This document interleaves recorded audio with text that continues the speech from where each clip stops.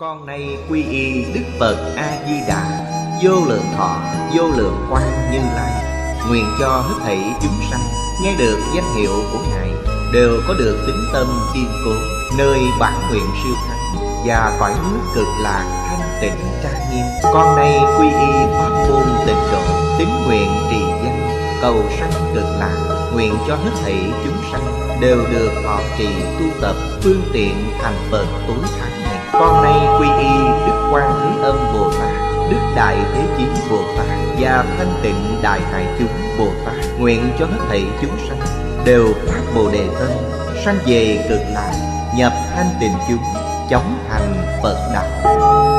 Tịnh độ Đại Kinh Giải diễn nghĩa, Chủ giảng, Lão Pháp Sư Tịnh Không, Chuyển ngữ, Hạnh Chương, Biên tập, Bình Minh, Thời gian Ngày 3 tháng 9 năm 2011 Địa điểm Phật Đà Giáo dục Hiệp hội Hồng Kông, Tập 574 Chư vị Pháp Sư, Chư vị đồng học, Mời ngồi xuống.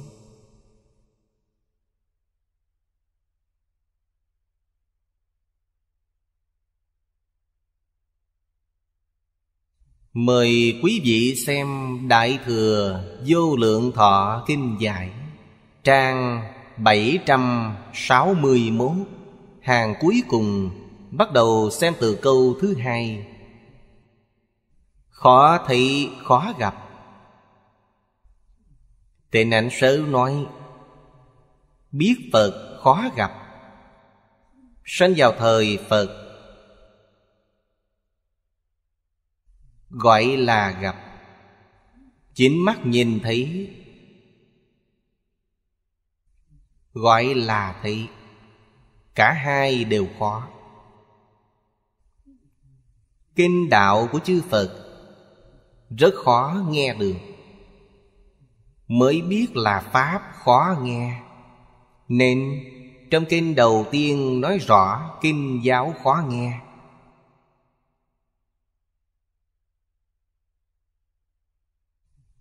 Đây là câu thứ hai trong kinh. Khó thị khó gặp.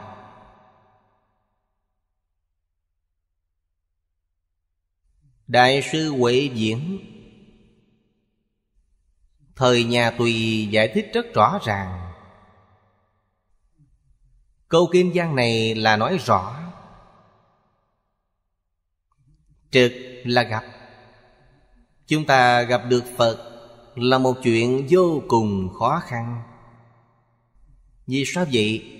Sanh vào thời Phật Chúng ta sanh ở nhân gian, Cùng một thời đại với Phật Đây gọi là trực, Nghĩa là gặp được Tuy sanh cùng thời đại với Phật, Quý vị có thể gặp được Phật chăng? Trong kinh nói Đại thành xá vệ. Đức Thế Tôn ở đó giảng kinh rất nhiều kinh điển. Thành này đích thực, Ngày xưa là thành lớn. Cư dân mười vạn người. Ngày xưa thành thị mười vạn người Đích thực là thành lớn.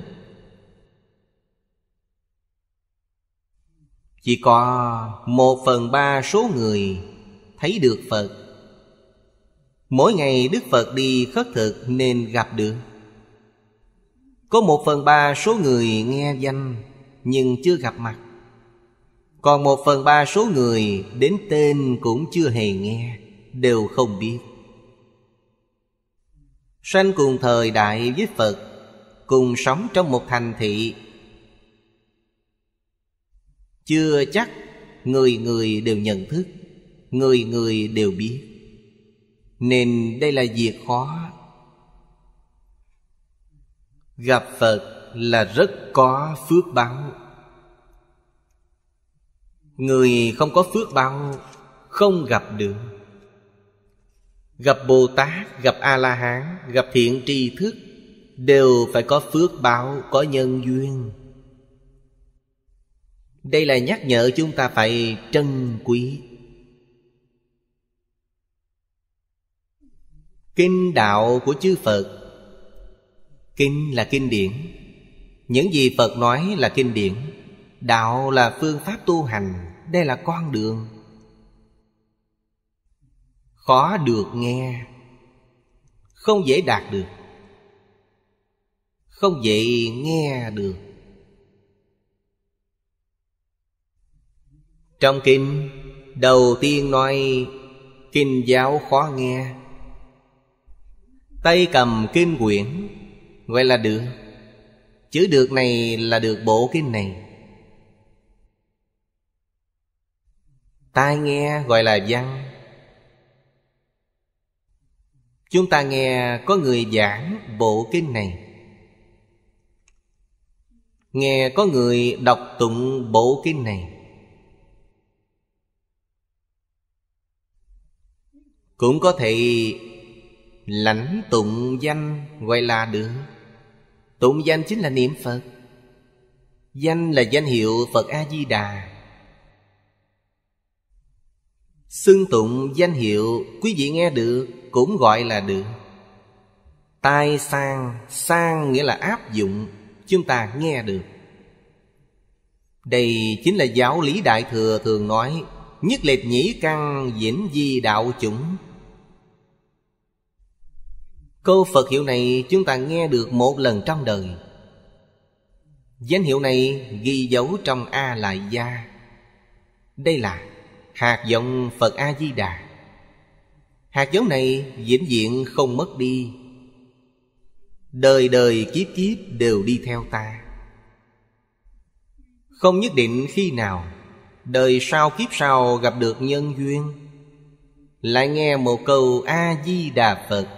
Ấn tượng càng sâu hơn, Làm cho hạt giống trong A la Gia sanh trưởng.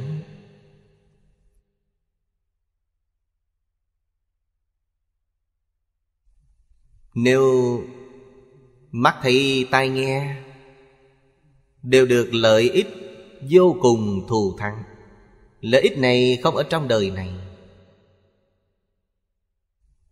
Đời này chúng ta đạt được lợi Quý vị cũng có thể nghĩ cũng biết, Trong nhiều đời quá khứ đã từng học. Cho nên nghe xong quan hỷ, Nghe xong thật sự phát tâm, Thật sự muốn đến thế giới cực lạc.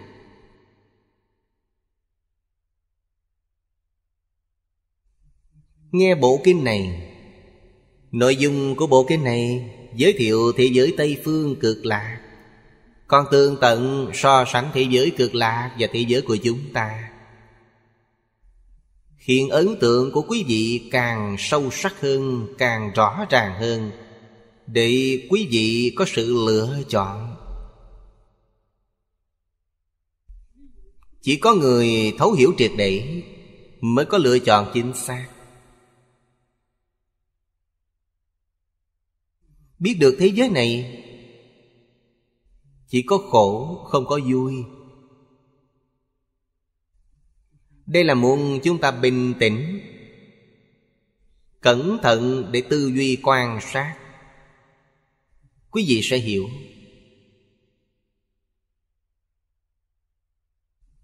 Người thế gian này cho là vui. Đức Phật nói rất hay. Đâu biết rằng vui là nhân của khổ. Hiện nay rất vui thú, Sau khi chết đọa vào tam đồ Cũng khổ. Vì sao vào trong tam đồ? Khi hưởng lạc đã tạo tội nghiệp. Tạo tội nghiệp gì? Tham sân si. Khi hưởng lạc phải chăng là Đang tạo tham sân si?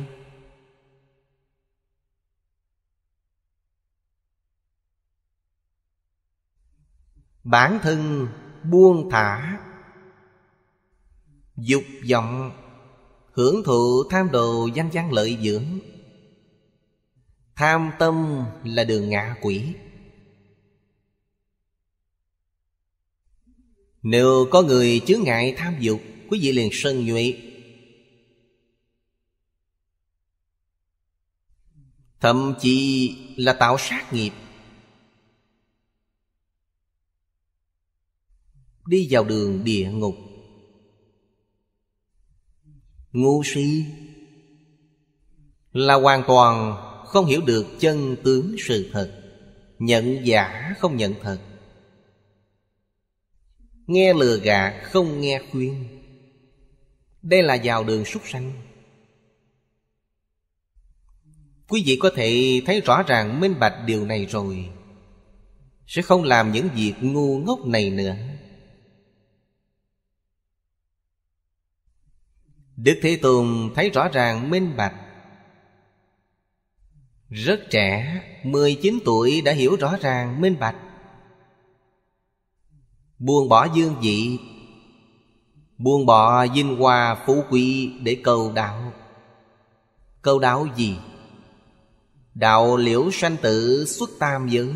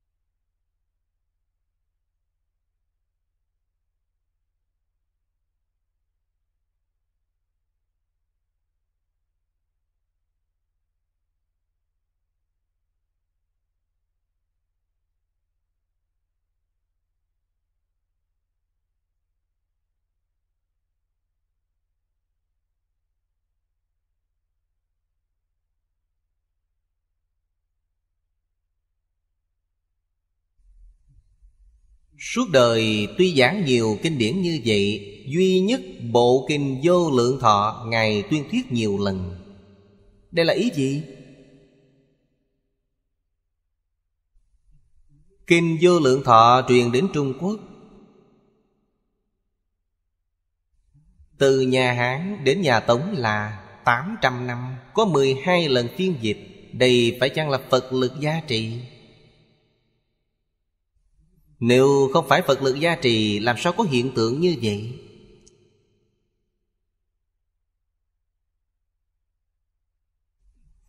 Kinh Kim Cang mọi người rất quen thuộc.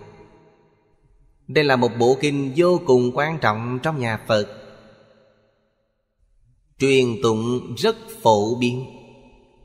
Nó chỉ có sáu lần phiên dịch. Kinh vô lượng thọ gấp đôi mười hai lần phiên dịch.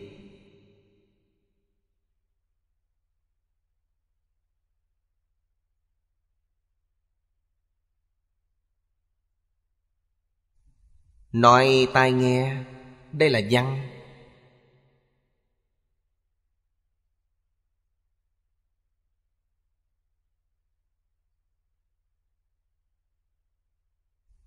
Nên nói, Kênh đạo chư Phật, Khó được, khó nghe.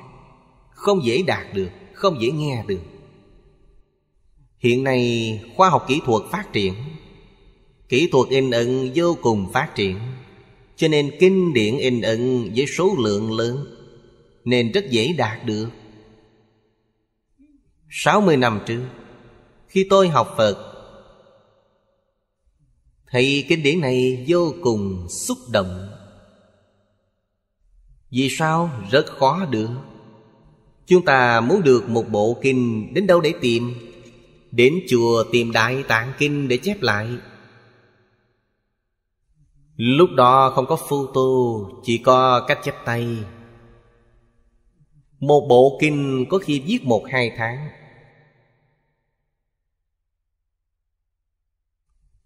Rất hiếm có. Có đầu như hiện nay quá tiện lợi. Giá thành rất thấp. Nhưng in ấn lại rất đẹp.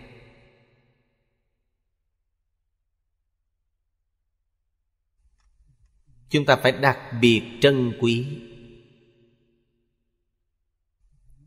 Chúng tôi là người đã đi qua, Từng trải qua những ngày tháng khổ cực Không có kinh phải chép, Nên rất quý trọng kinh điển. Người bây giờ không thấy được hiện tượng này Cho rằng quá nhiều, Muốn là có, Cho nên không coi trọng. Không biết thương tiếc.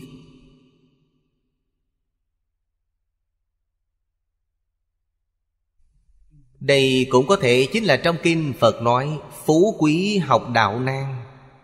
Họ đạt được quá dễ nên không biết quý trọng. Gặp thiện tri thức, Nghe Pháp có thể hành, Như vậy cũng rất khó. Gặp được thiện tri thức, Nghe họ thuyết Pháp Có thể tu hành, Điều này rất khó.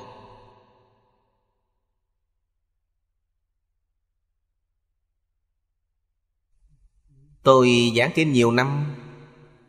Chúng xuất gia. Và tại gia bên cạnh tôi, Có thể chúng tại gia tu hành tốt hơn chúng xuất gia một chút. Tôi nghe được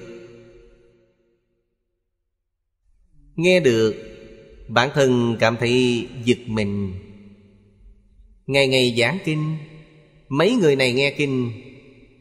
Hai bên nói với nhau, Đây là sư phụ nói cho người khác nghe, Không phải nói cho chúng ta nghe.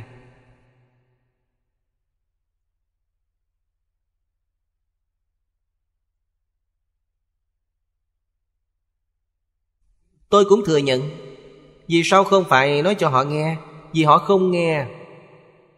Nói cũng vô ích.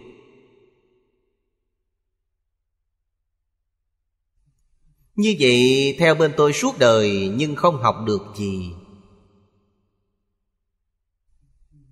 Tôi hồi tưởng 10 năm ở Đài Trung. Thầy Lý giảng kinh tôi không bỏ qua một buổi nào. Thầy đến đâu giảng tôi đều theo đến đó. Chúng tôi là chúng thường đi theo. Chúng thường tùy có mười mấy người. Thầy giảng kinh từng câu từng chữ đều nói cho chúng tôi. Thái độ học tập của chúng tôi là như vậy. Nên mới học được một ít. Thầy nói cho người khác, Không phải nói cho tôi. Như vậy chúng ta sẽ chẳng học được gì. Như vậy không phải uổng phí 10 năm theo học ư? Bởi vậy, ta có thể học được bao nhiêu? Thực tế mà nói, Như những gì Đức Thế Tôn tuyên thuyết, Hàng đệ tử của Ngài đã kết tập thành kinh điển, Lưu truyền cho hậu thế. Ngày nay chúng ta đạt được Mở quyển kinh ra. Từng câu, từng chữ đều là gì chúng ta mà nói. Không phải vì người khác nói. Không liên quan đến người khác như vậy mới có thể hiểu được kinh điển, Mới có thể lãnh hội được ý nghĩa.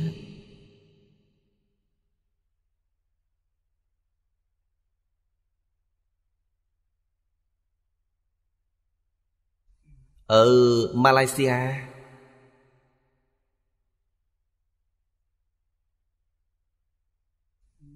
Có một lần tôi nói chuyện với trưởng lão Mã Cáp Điệp Tôi nói với ông, Tôi đọc kinh Koran. Tâm trạng tôi như thế nào? Tôi là tín đồ đạo hồi kiền thành nhất. Nếu không phải tín đồ kiền thành nhất của đạo hồi, Ý trong kinh Koran ta không thể lãnh hội được. Tôi đọc Tân Cựu Ước Đọc Thánh Kinh.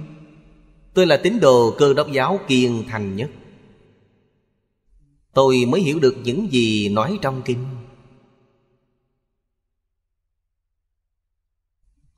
Đây chính là Tổ sư Ấn Quang nói, Một phần thành kính được một phần lợi ích. Mười phần thành kính được mười phần lợi ích. Ta đọc tụng, Nghe giảng, Không có chút tâm thành kính nào, Như vậy sẽ không đạt được chút lợi ích nào. Những người chưa gặp mặt tôi, Họ nghe giảng kinh trên mạng, Nghe kinh trước truyền hình. Họ có tâm học Phật như tôi lúc đó. Pháp Sư nói từng câu, từng chữ là gì mình. Họ sẽ được lợi ích. Họ thật sự đã học được. Nếu nói Pháp Sư nói là vì người khác, Không liên quan đến mình, Vậy là họ không đạt được lợi ích gì.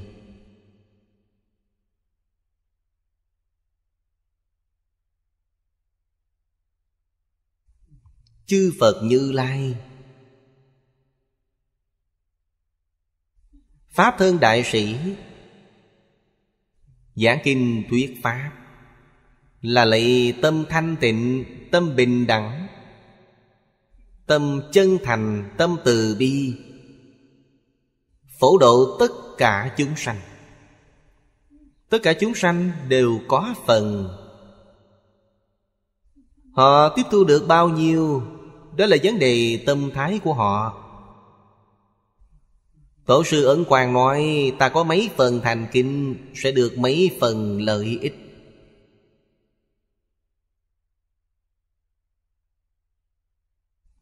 Tôi từng nói, Tôi lấy Ngài Huệ Năng và Thần Tú làm ví dụ. Đại sư Thần Tu theo ngũ tổ. Thời gian rất lâu.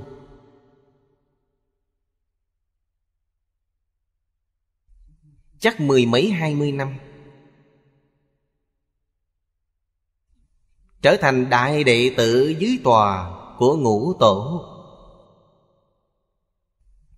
Nhưng ngũ tổ không truyền pháp cho Ngài, Lại truyền cho một người mà mọi người không quen biết, Đó là Ngài Huệ Năng.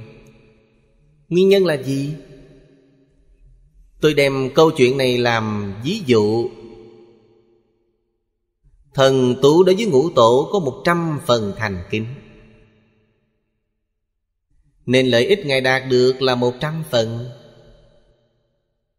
Huệ năng đối với ngũ tổ là dạng phần thành kính, Nên Ngài đạt được dạng phần lợi ích. Ngũ tổ đã truyền y bá cho Ngài Huệ năng, Không truyền cho Ngài thần tú. Quý vị sẽ hiểu được điều này không liên quan đến việc ở với thầy lâu hay mau, Cũng không liên quan đến việc nghe kinh nhiều hay ít. Có thể nói rằng ngũ tổ thuyết pháp thần tú không thiếu một buổi nào. Ngũ tổ thuyết pháp, Ngài Huệ Năng lại chưa từng nghe buổi nào.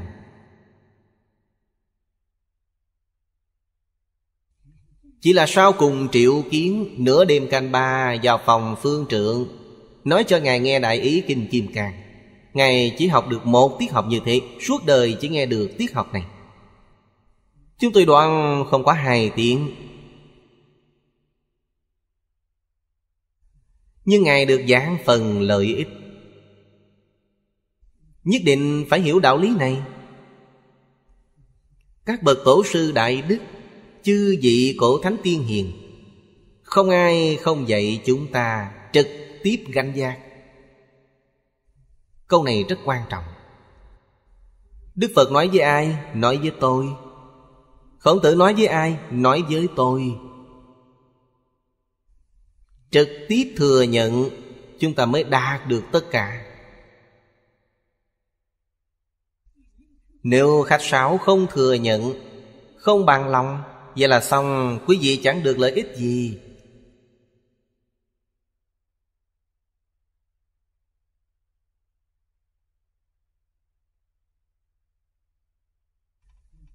Phật Bồ Tát gia trì.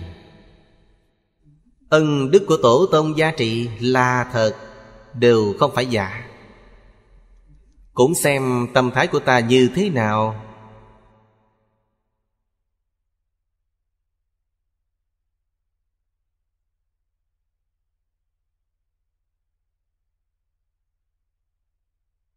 Sức mạnh gia trì nhất định liên quan mật thiết với tâm thái của chúng ta.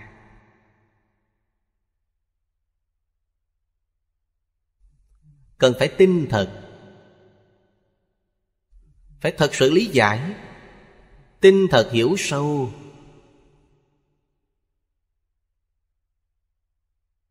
Mới có thể đạt được. Nếu ta phát tâm, Y giáo phụng hành, Vì người diễn nói, Sức mạnh gia trì sẽ rất lớn vượt ngoài sức tưởng tượng của chúng ta. Vì sao vậy? Ta không vì bản thân, mà vì người khác, vì chúng sanh. Tâm thái này hoàn toàn tương đồng với tâm thái của chư phật bồ tát. Phật bồ tát không có ai vì mình cả. Đều vì tất cả chúng sanh. Quên mình.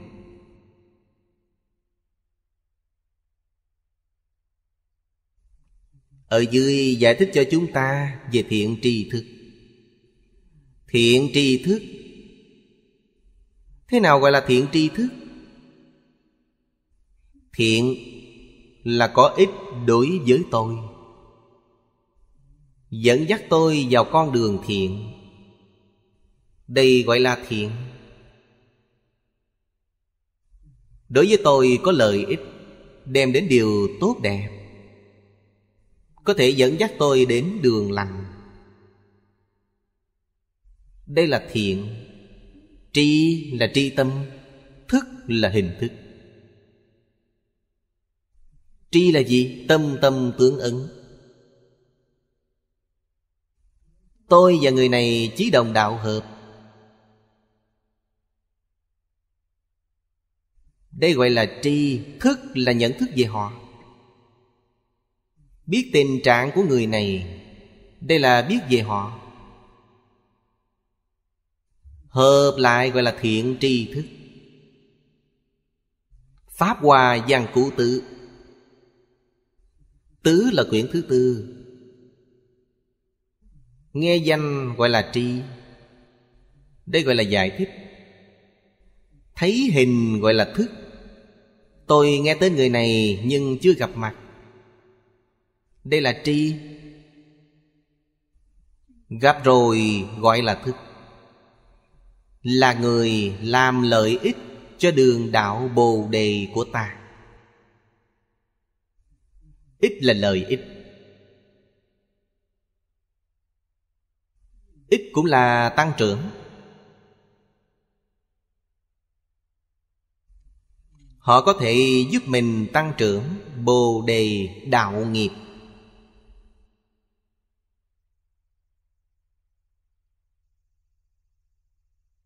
Người này Chính là thiện tri thức của ta. Nên biết, Hai chữ tri thức này Nghĩa là tri tâm thức hình. Nên thiện tri thức cũng gọi là thiện hữu. Tương thức tương tri Dẫn dắt ta vào đường thiện, Gọi là thiện hữu. 53 lần tham bái trong Kinh Hoa Nghiêm. Thiện tài đồng tự đối với 53 vị thiện tri thức Đều gọi là thiện hữu.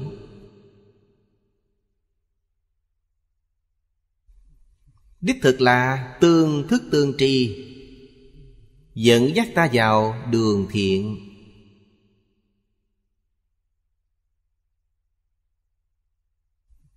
Thiện trong các điều thiện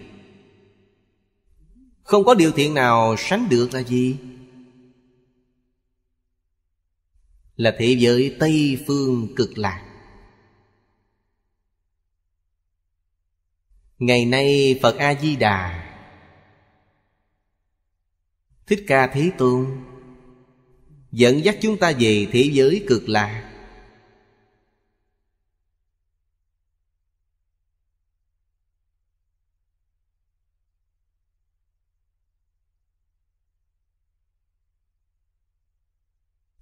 Đây là thiện lớn không gì sánh bằng. Chúng ta phải nhận biết về hai vị này, Bởi hai ngài là đại thiện tri thức của chúng ta.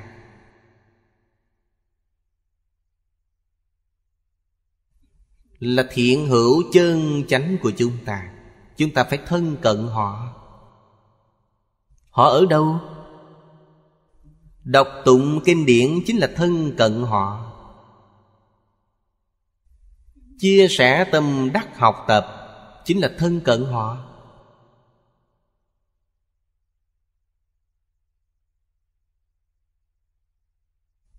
Cổ nhân có câu, Tế thần như thần tại. Tâm này thiện biết bao. Chúng ta mở kinh, Đối diện kinh văn, Giống như Phật A-di-đà đang ở trước mặt. Nói với chúng ta những lời này. Đức Thế Tôn ở trước mặt giới thiệu cho chúng ta.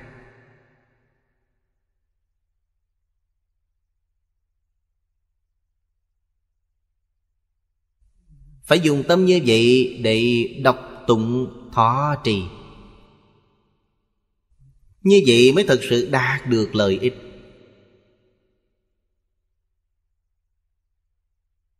Lớp thanh niên trong thời đại này.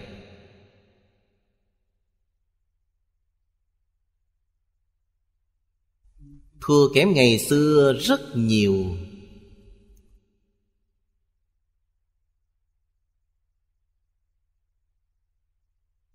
Quá khứ này là Chỉ cho một thế kỷ. Chúng ta không sánh bằng. Người đọc sách một thế kỷ trước, Quả thật Có tác phong của quân tử. Tác phong vẫn còn. Siêng năng nỗ lực. Có sự thành kính. Trong vòng một trăm năm này, tâm thái đó dần dần suy yếu.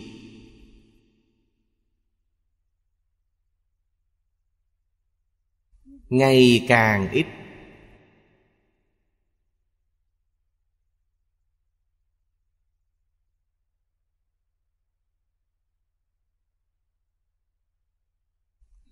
Khoảng tuổi tác của tôi đã không nhiều.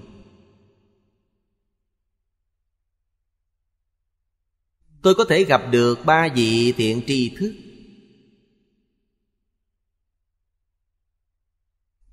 Họ nhiệt tâm dạy tôi. Tôi rất cảm kích. Rất nhiều người cảm thấy tôi may mắn. Nói vận khí tôi tốt. Tôi cũng từng tĩnh tâm tư duy. Đây là nguyên nhân gì? Vẫn là sự thành kính như Ấn quan Tổ sư nói. Tôi vẫn còn một chút thành kính. Nói cách khác, các đồng học khác Đến một chút thành kính như tôi cũng không có. Chút thành kính này của tôi trong một trăm năm trước Thiện tri thức sẽ không để ý đến tôi. Vì sao? Chưa đủ. Chỉ có một hai phần thành kính chưa đủ. Nhưng bây giờ đã không còn thành kính, Nên một hai phần đó cũng rất đáng quý. Cũng không đơn giản. Nên họ không dứt bỏ tôi. Đây là thật, không hề giả dối.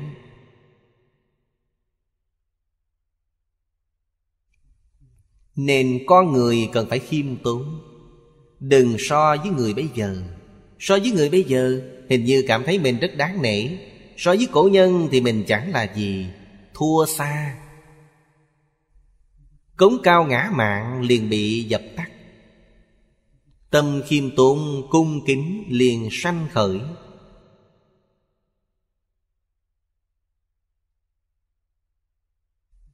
Mấy phần tâm cung kính này của chúng ta có đáng gì? Bởi vậy mở kinh ra xem, không hiểu.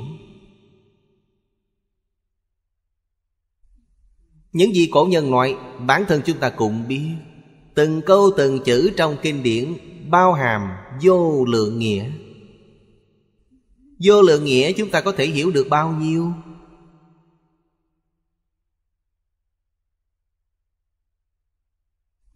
Nếu coi thường Đức Thế Tôn, Coi thường khổng tử Đó là thời đại phong kiến, Thời đại lạc hậu. Quý vị nói họ như vậy. Từng câu từng chữ Họ nói trong kinh điển, Đúng là vô lượng nghĩa.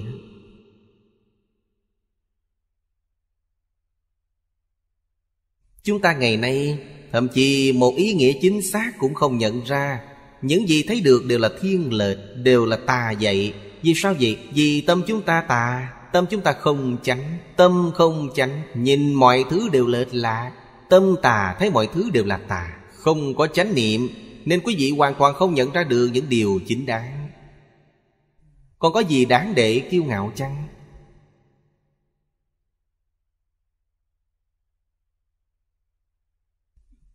Nếu tâm chánh, Thái độ cũng sẽ chánh Và hành vi cũng chánh. Quý vị được mấy phần chánh đều biểu hiện ra bên ngoài.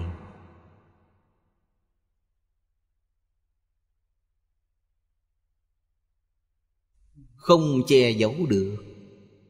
Chỉ che giấu được những người vô tri Họ không biết. Người thật sự có học vấn, Có đạo hạnh, Quý vị không giấu được họ. Xem qua là họ nhận ra ngay. Chỉ là không nói mà thôi. Người ta có đức hạnh nên không nói quý vị.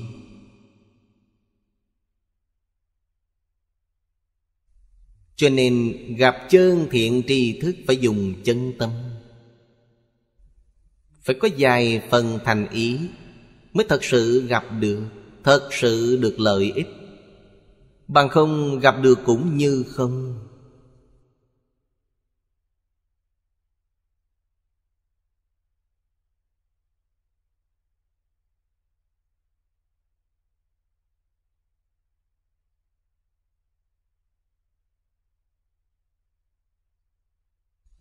Bên dưới dẫn chứng Duyên giác kinh đại sư nói, Thập ngũ là quyển thứ 15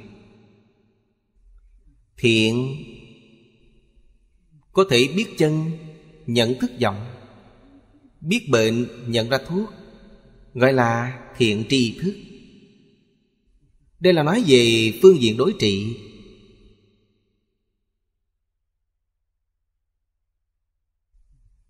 Thiện tri thức. Vì sao gọi họ là thiện tri thức? Họ biết được chân vọng. Đâu là chân, đâu là vọng?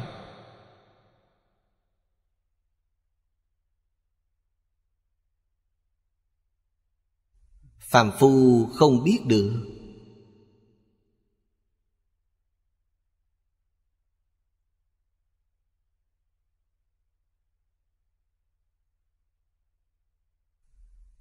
Đạo đức nhân lễ nghĩa là chân. Tham sân si mạng nghi là vọng Họ biết. Chúng ta không biết.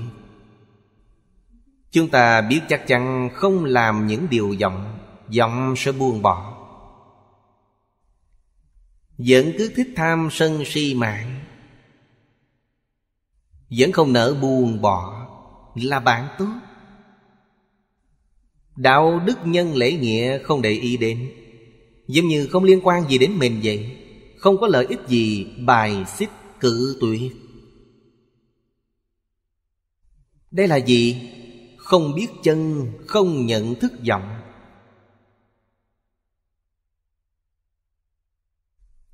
Không biết bệnh, cũng không nhận thức thuốc. Bệnh phát tác. Đã biết khổ Nhưng không biết gì sao bệnh.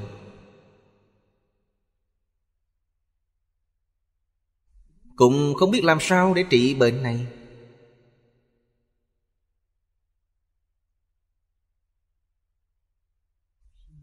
Trong thời đại ngày nay Người như vậy rất nhiều.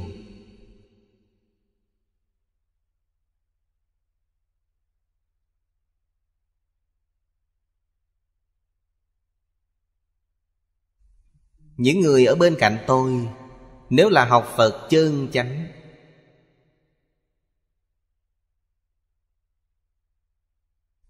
Thật sự nghe kinh hiểu, Minh bạch, Thật sự y giáo phụng hành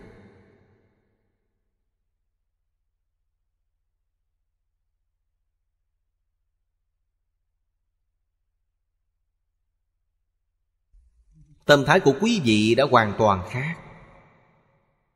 Thế giới ta bà là vọng Thế giới cực lạc là chân.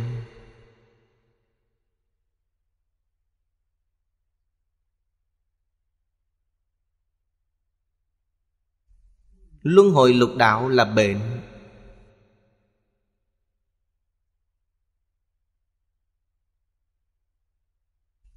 Niệm Phật cầu sanh tịnh độ là thuốc Hiểu rõ ràng rồi, quý vị có thể không làm sao?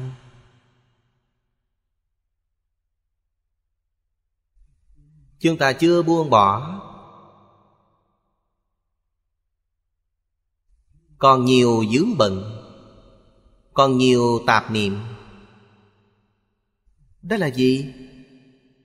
Ngu si, Mê hoặc. Khi hiểu rõ ràng, minh bạch rồi, Tâm thái sẽ không như vậy.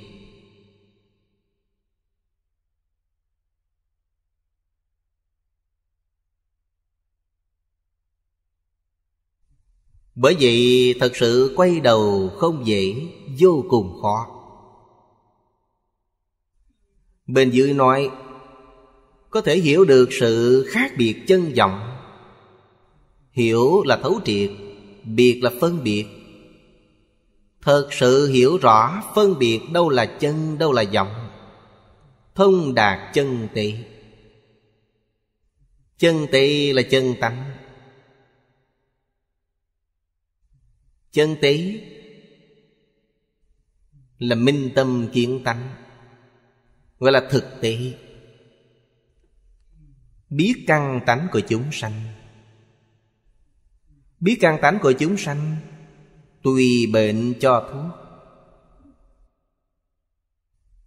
Bởi vậy ngày nay, Tuyệt đại đa số người học Phật, Đối với Phật Pháp Đại Thừa mà nói, chỉ là trồng thiện căn mà thôi. Đời này không đạt được lợi ích.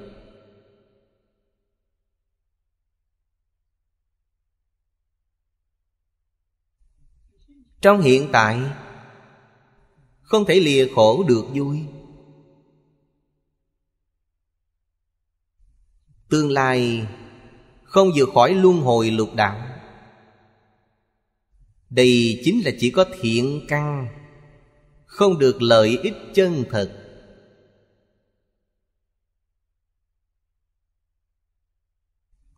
Lần này chúng tôi hạ quyết tâm tuy bệnh cho thuốc.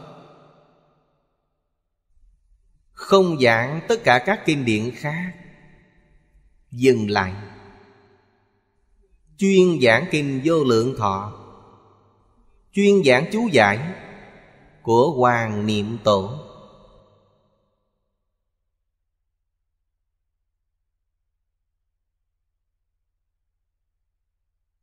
Vì sao vậy? Vì đây là liều thuốc hay.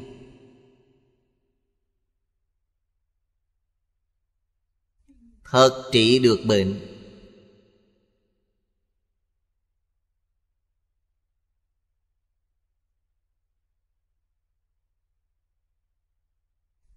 Nếu chúng ta nghe hiểu được bộ kinh này, Nghe minh bạch, Có thể y giáo phụng hành. Chắc chắn giải quyết được vấn đề hiện tại của chúng ta. Nhất định có thể giúp chúng ta phiền não nhẹ, trí tuệ tăng trưởng. Giúp chúng ta điều chỉnh quan hệ nhân sự. Chúng ta có thể chung sống hòa thuận hóa giải xung đột. Bản thân chúng ta tốt gia đình tốt xã hội sẽ tốt quốc gia sẽ tốt thế giới mới có thể khôi phục lại trật tự.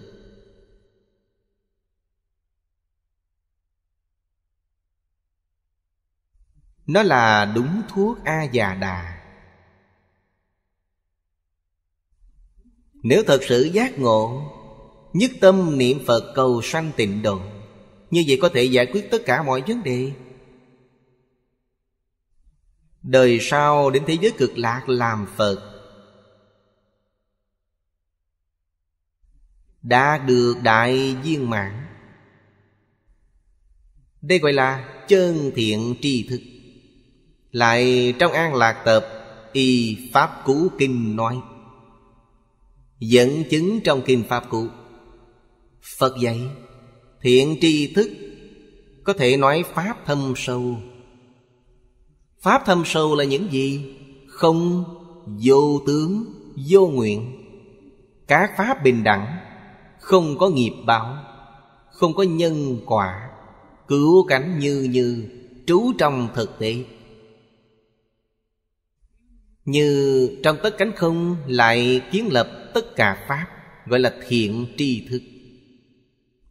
Nói được như vậy thật sự là thâm sâu. Đây không phải là giả. Không vô tướng, vô nguyện.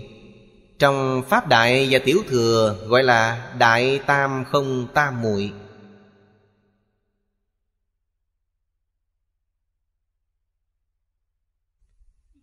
Các pháp bình đẳng Không có nghiệp báo, Không có nhân quả. Cứu cảnh như như trú trong thực tế. Đây là cảnh giới của ai?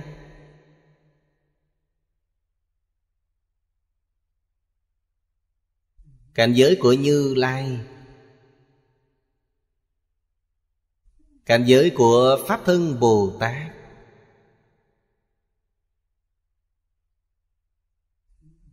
Có ta, Tức không bình đẳng. Chỉ cần có ta, Bình đẳng sẽ không còn. Chỉ cần có ta là có nghiệp báo, Có nhân quả.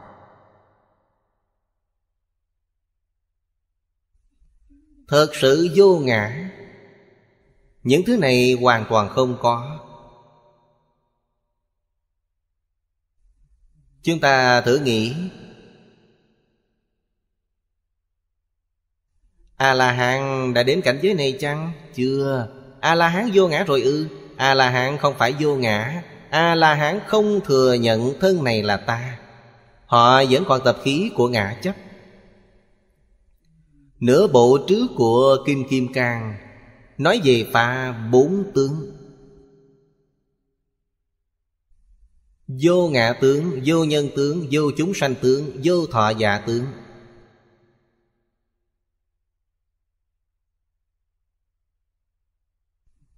Đây là pha bốn tướng. Nhưng họ vẫn còn tập khí. Tập khí chưa đoạn. Nửa bộ sau của Kim Kim Cang là phá tứ kiến. Vô ngã kiến, vô nhân kiến, vô chúng sanh kiến, vô thọ giả kiến. Kiến là gì? Ý niệm. Vẫn còn ý niệm này. Ý niệm này không còn mới thật sự gọi là vô ngã. Đây là cảnh giới nào? Thiền Tông nói Đại triệt đại ngộ Minh tâm kiến tánh. Kiến tánh thành Phật Là cảnh giới của những người này. Hay nói cách khác Trong mười Pháp giới Thanh văn, duyên giác, Bồ Tát, Phật Đều chưa đạt đến cảnh giới này.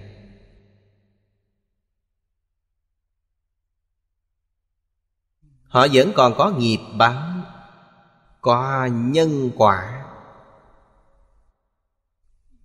Nhất định phải đến cõi thật báo cũng chính là vượt ra mười pháp giới. Mới có thể nói không có nghiệp báo, Không có nhân quả. Bởi vậy nó thật sự thâm sâu.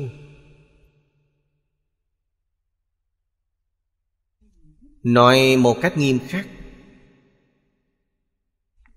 Tam Hiền Bồ Tát trong cõi thật báo. Là viên giáo trong kinh Hoa Nghiêm. Thập trụ, thập hạnh, thập hồi hướng ba mươi địa vị. Trong cõi thật bào tất cả có bốn mươi 41 địa vị Bồ Tát. Ở sau là thập địa đẳng giác mười một địa vị. Ở trước ba mươi địa vị.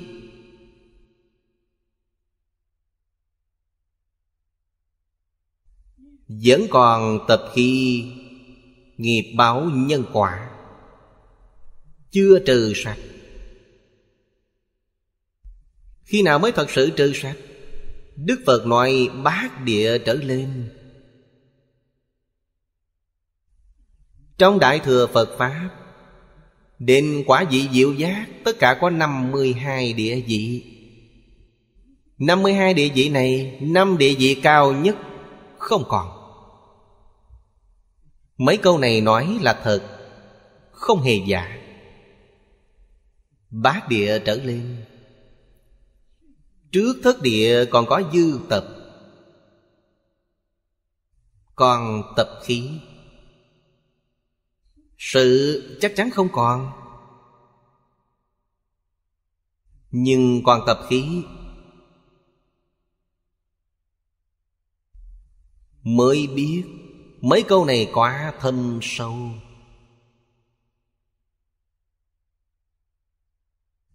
Chân thiện tri thức có thể nói Pháp thậm thâm. Chân thiện tri thức này không phải người bình thường, Chắc chắn là Pháp thân Bồ Tát. Không phải Pháp thân Bồ Tát thì không làm được. Trong lịch đại chư vị tổ sư, Có không ít Pháp thân Bồ Tát Như Ngài Huệ Năng. Trong hội của Đại sư Huệ Năng, Tức là trong hàng đệ tử của Ngài, Có 43 vị. Cảnh giới họ chứng được giống như Ngài vậy, Đều là minh tâm kiến tánh. Chư Phật, Đại Bồ Tát ứng hóa đến nhân gian này. Ở Trung Quốc có.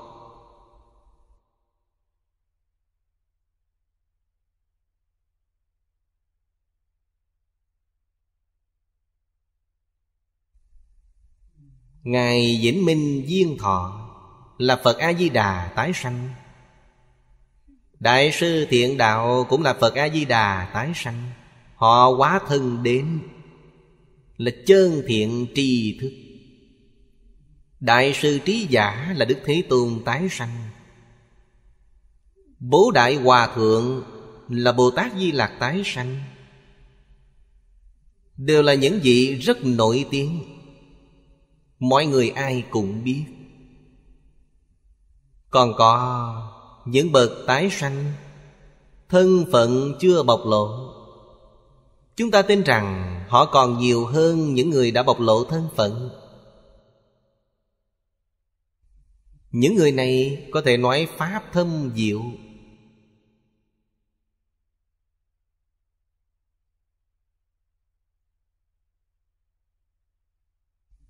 Nhưng quý vị xem, Thật sự là Phật Bồ Tát. Họ có thể ở trong tất cánh không? Kiến lập tất cả Pháp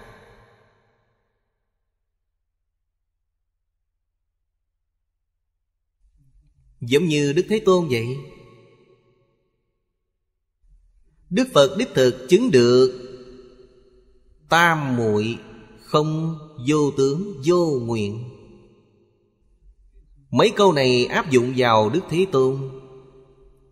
Hoàn toàn tương ưng, Là miêu tả hiện thực của Đức Thế Tôn Các pháp bình đẳng, không có nghiệp báo, Không có nhân quả Cứu cánh như như trú trong thực tế Tuy ở trong tất cánh không, Nhưng kiến lập tất cả pháp, Đó là gì? Vì chúng ta giảng kinh dạy học suốt 49 năm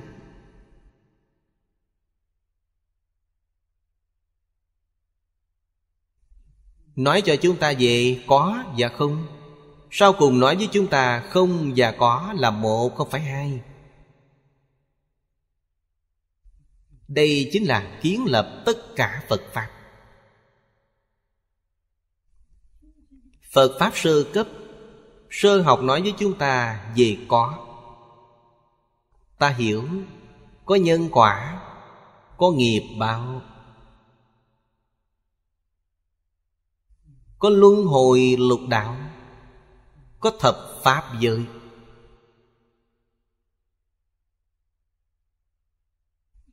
Trong cuộc sống hiện tại của những chúng sanh này, Quý vị nói với họ Họ thấy rất quen thuộc, Hoàn toàn có thể tiếp nhận. Đức Phật dạy học Là từ từ nâng cao họ lên. Ngài giảng kinh dạy học suốt 49 năm 12 năm đầu là đặt nền tảng A Hàm Giáo.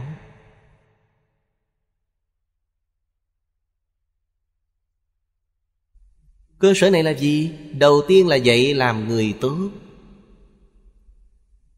Chưa làm người tốt, Sao có thể thành Phật? Không có đạo lý này. Trước tiên dạy chúng sanh cách làm người trong giáo lý tiểu thừa Vậy chúng ta làm sao để làm người tốt? Phân lượng này rất lớn. Giống như các bậc tổ tông dạy chúng ta Về ngũ luân, ngũ thường, tứ duy, bạc đức.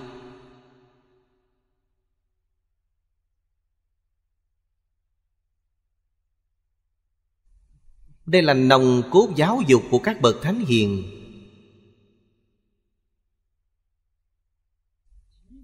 Mấy ngàn năm từ đời này qua đời khác đều phụng hành. Nhờ vậy mà xã hội an định, Nhân dân hạnh phúc. Chánh trị xuất hiện đại trị, Thời đại của Thánh Nhân, Là giáo dục thành tựu, Không có gì khác.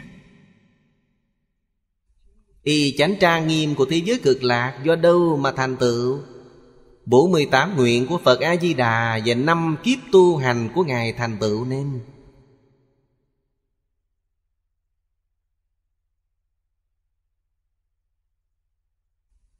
Xa lìa giáo dục là sai. Xa lìa giáo dục nhất định bị tuột dốc. Chắc chắn đi đến diệt vong.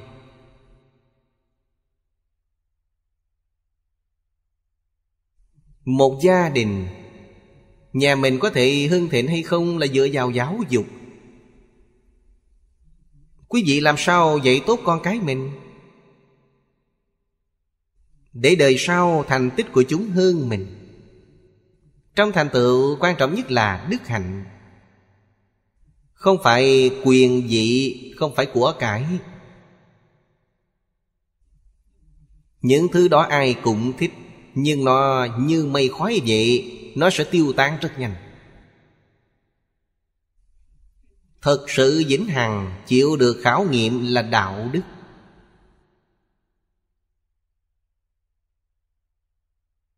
Quý vị có dạy tốt con cái mình chăng? Từ nhỏ dạy chung lãnh hội được đạo đức, Nỗ lực học tập, Đoạn ác tu thiện tích lũy công đức. Họ dạy con cái họ từ đời này sang đời khác. Gia đình của quý vị làm gì có đạo lý không hương thịnh? Từ xưa đến nay, Trung Quốc lấy đạo đức giữ gia nghiệp. Hiện nay chỉ có một nhà. Khổng tử.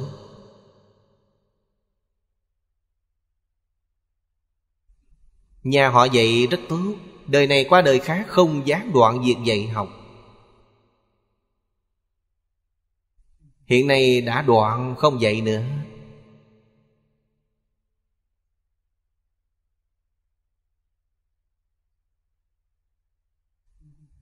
Tôi ở Đài Loan nhiều lần gặp ông Khổng Đức Thành. Ông cảm khái giảng phân. Nhà không còn. Người mất nhà tan.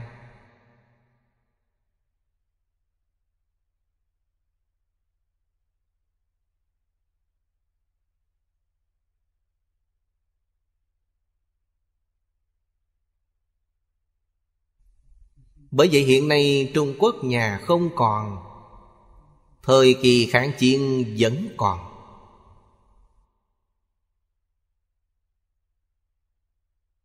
Sau kháng chiến không còn.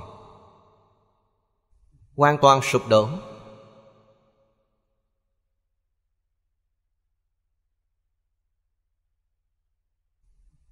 Chúng tôi đến An Quy, Giang Nam xem, Có không ít ngôi nhà thế gia Vẫn còn.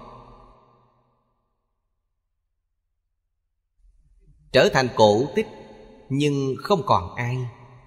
Những người trẻ tuổi đều ra đi Phân tan hết. Chỉ còn lại mấy cụ già trong coi. Thật đáng tiếc. Đây là căn bản của truyền thống văn hóa xưa. Cội rễ không còn. Cội rễ không còn, Muốn khôi phục lại, chánh tích quy hoàng.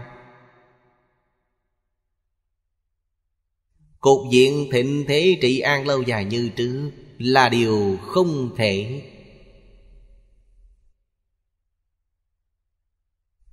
Nhưng trí tuệ, đức hạnh, Phương pháp của chư vị tổ tông Vẫn lưu lại trong kinh điển. Nếu có người phát tâm thực hành nó, Có thể làm một tấm gương tốt.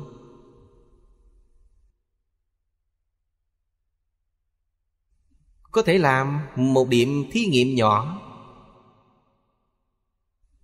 Đem những khái niệm, Phương pháp Và kinh nghiệm của cổ nhân Thực hành trong đời sống, Để người bây giờ thấy, Đem so sánh với xã hội ngày xưa.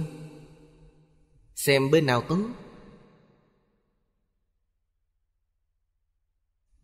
Cũng có thể sẽ có cơ hội thay đổi. Nếu không có điểm thí nghiệm đặc biệt này, Chắc chắn là mất nước. Văn hóa mất, Nước sẽ không còn. Nước mất, Văn hóa còn sẽ không mất, Sẽ phục hưng. Nếu như văn hóa mất, Tức là vĩnh viễn diệt tận. Trên thế giới này, Có bốn nền văn minh cổ lớn. Chỉ còn lại Trung Quốc, Ba nơi khác không còn. Trung Quốc hiện nay cũng sắp đi đến đường cùng. Văn minh cổ biến mất khỏi thế gian. Ai phát tâm phục hưng? Công đức này vô lượng, vô biên.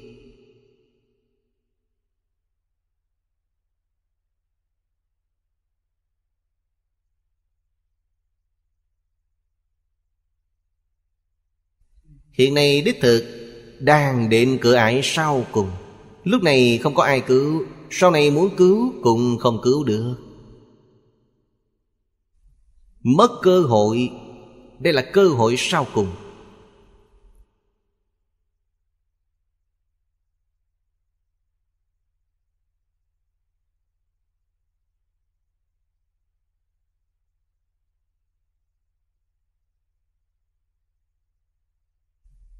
Thế nên ngày nay chúng ta thấy được thiện tri thức, Cảm khái vô hạn.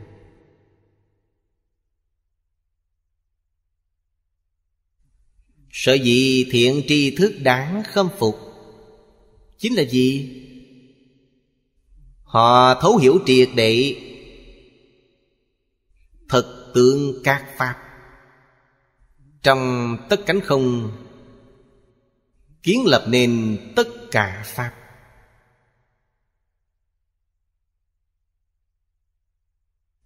Thiện tri thức là Cha mẹ quý vị.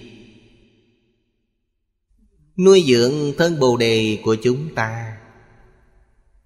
Đây là từ trên ví dụ mà nói. Thiện tri thức quan trọng biết bao. Con người không thể thiếu thiện tri thức. Không thể không thân cận thiện tri thức. Thiện tri thức là con mắt của ta. Có thể thấy được tất cả thiện ác đạo.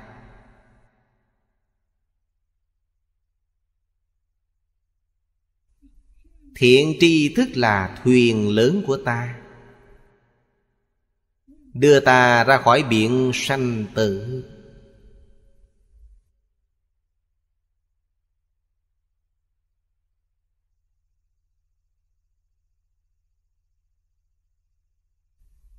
Biển sanh tử Chính là luân hồi lục đạo.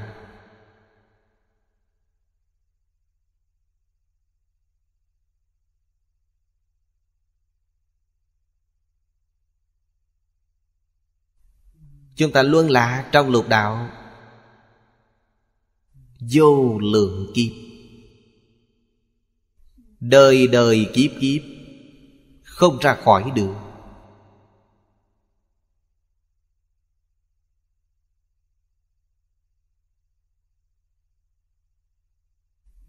Nhưng Đích thực có rất nhiều người không biết được chân tướng sự thật. Họ diễn diễn không nghĩ đến mình phải ra khỏi luân hồi, Không nghĩ đến.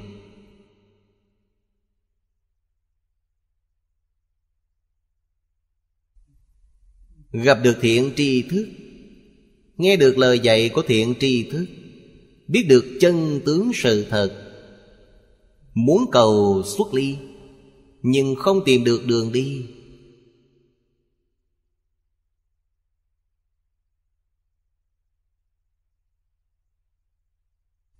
Có đường đi, Nhà Phật thường nói Tám dạng bốn ngàn pháp môn. Mỗi pháp môn đều có thể giúp quý vị ra khỏi. Nhưng mỗi người căn tánh khác nhau. Người căn tánh lanh lợi Được.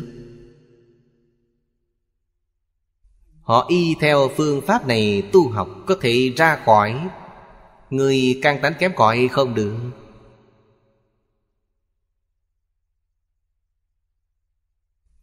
Tu định không đạt được định. Được định không thể khai trí tuệ. Chiếm đại đa số.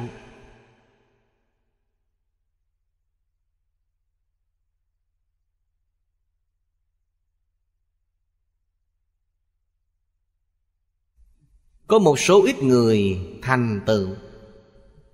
Quý vị xem bao đời nay có bao nhiêu người tu hành, Có mấy người thành tựu?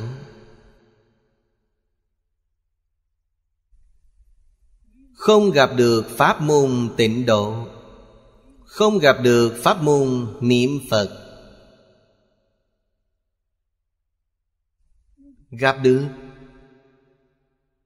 Đối với đạo lý này không hiểu rõ không minh bạch. Nên bán tính bán nghi đối với pháp môn này. Không tinh tấn tu học, lại bỏ qua cơ hội ngay trước mắt. Trường hợp này chiếm rất nhiều.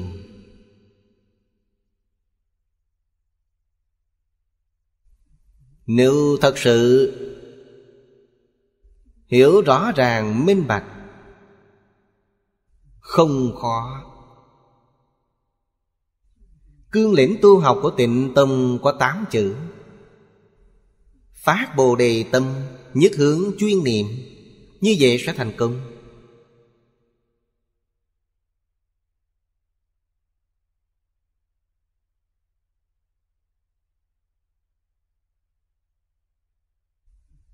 Nhưng tịnh tông, Chư Phật Như Lai đều nói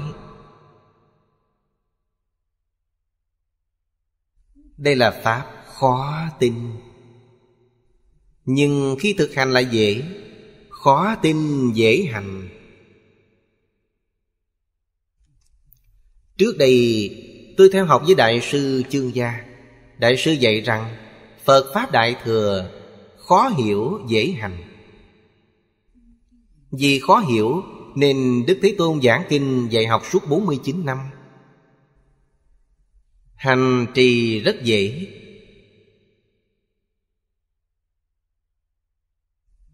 Chỉ cần phát tâm chân thành Thật thà niệm danh hiệu Phật A-di-đà. Quý vị thì trong Kinh A-di-đà nói Cần thời gian bao lâu? Từ một ngày, hai ngày, ba ngày cho đến bảy ngày Sẽ được thành tựu.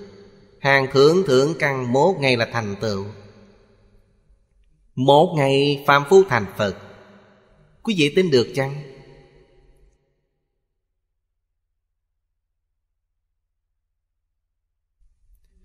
Trong tịnh độ Thánh Hiền Lục, Thấy có một câu chuyện. Một ví dụ. Pháp sư Doanh Khả thời nhà Tống.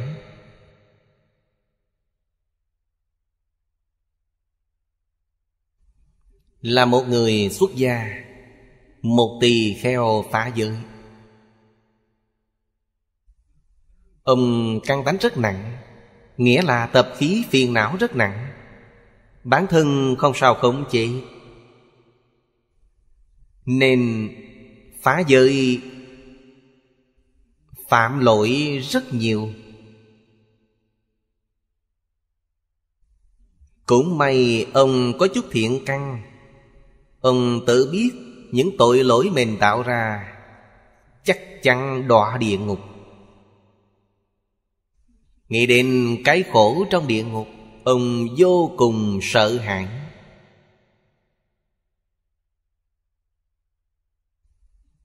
Đối trước đại chúng đồng tu,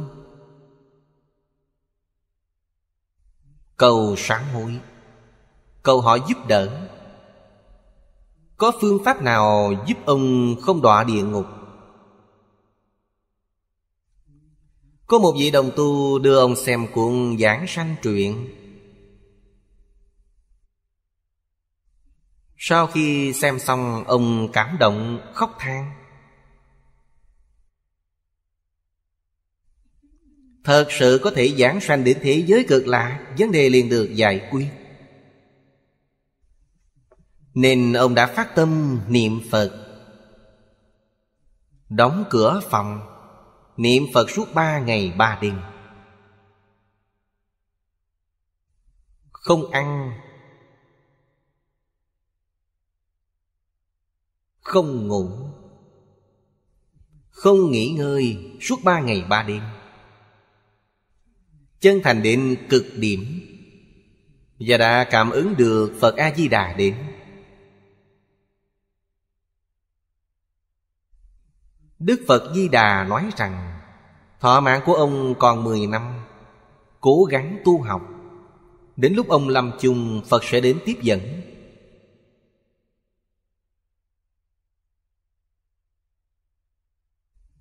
Đại sư Doanh Khả nghe như vậy liền bạch Phật, Tập khí của con rất nặng, Bản thân không sao khống chế được.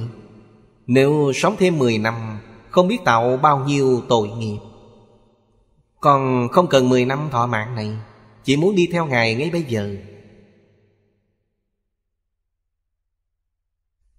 Đại sư Doanh Khả Quả là một người thông minh.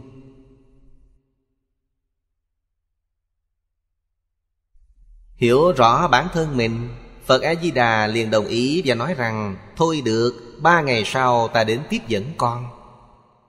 Vì sao Phật A-di-đà không lập tức đưa ông đi?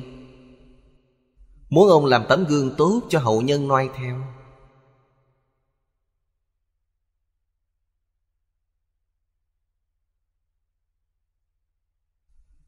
Ông nghe Đức Phật nói, ba ngày sau đến tiếp dẫn nên vô cùng quan hỷ. Liền mở cửa phòng nói với đại chúng, Ba ngày nữa mình giảng sanh. Không ai tin điều này. Vì ông không phải là người tốt. Trong chùa mọi người đều coi thường ông. Cũng may thời gian ba ngày không dài, Mọi người đợi xem ba ngày sau ông có giảng sanh chăng. Đến ngày thứ ba, Ông yêu cầu những người đồng tu. Mọi người niệm Phật đưa ông giảng sanh. Mọi người đều rất quan hỷ. Tôi xem ông giảng sanh như thế nào. Đúng theo thời gian, ông nói, Mọi người tập hợp trong đại điện để tiễn đưa ông. Niệm được một khắc, Ông tuyên bố với mọi người, Phật A-di-đà đến tiếp dẫn. Tôi phải đi theo Ngài. Và sư thật sự ra đi, không hề sanh bệnh. Sư đi thật. Đây không phải giả. Sư niệm Phật bao lâu? Ba ngày, ba ngày ba đêm.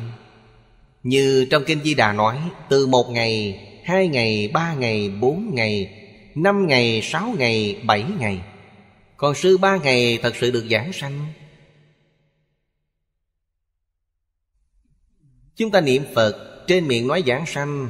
Tôi treo ở đây tấm bản Một tuần sau chắc chắn giảng sanh. Quý vị dám đến niệm chăng? Quý vị thấy tấm bản này đều sợ chạy hết Còn dám đến chăng? Bảy ngày sau là chết, Như vậy ai không sợ? Nên đó là giả, Không phải thật.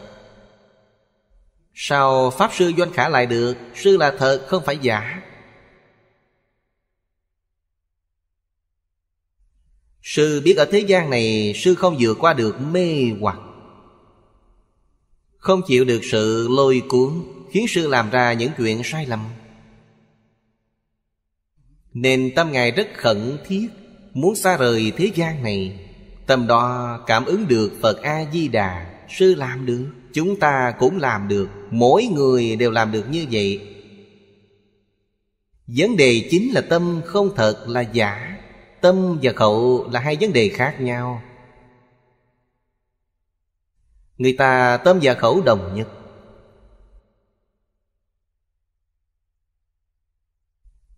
Nên sư đã thành công.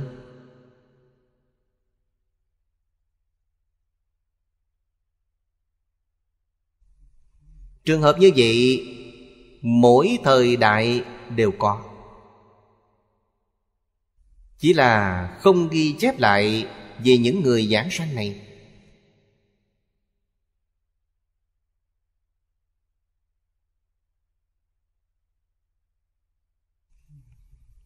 Hai ngàn năm nay, Từ Đại sư Huệ Diễn khoảng một ngàn bảy trăm năm, Vào thời Đông Tấn, Đại sư Huệ Diễn thành lập niệm Phật đường đầu tiên. Niệm Phật đường Đông Lâm ở Lô Sơn Giang Tây Đầu tiên. Đây là một đạo tràng đầu tiên Chuyên tu Chuyên hoàng tịnh độ tông Chúng ta tôn xưng Ngài Huệ Diễn Là sơ tổ tịnh độ tông Sơ tổ tịnh tông Trung Quốc.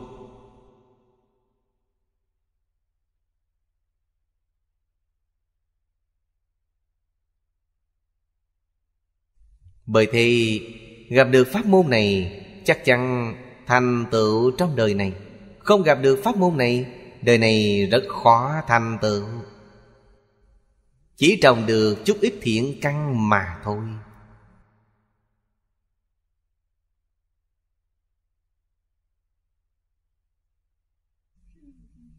Thiện tri thức là hoàn thành của ta.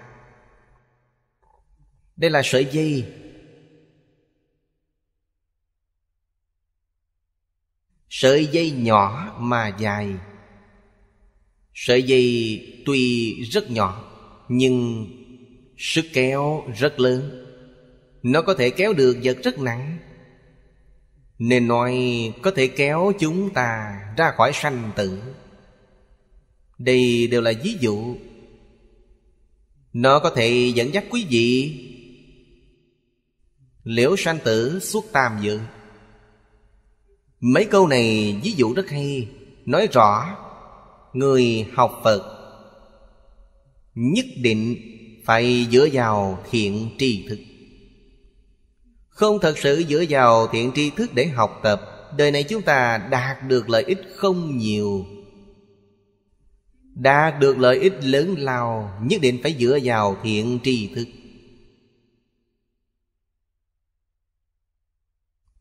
Nên trong kinh lại nói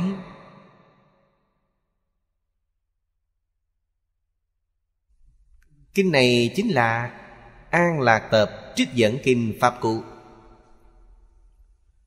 Tất cả chúng sanh muốn đắc A Nậu Đa La Tam Miệu Tam Bồ Đề, Nên thân cận thiện tri thức, Thịnh dân Pháp yêu. Pháp yêu chính là pháp môn, Phương pháp tu hành quan trọng.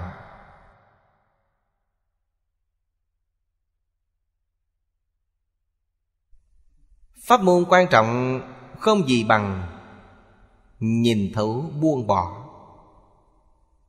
Nếu thật sự nhìn thấu, Thật sự buông bỏ, Như vậy mới được.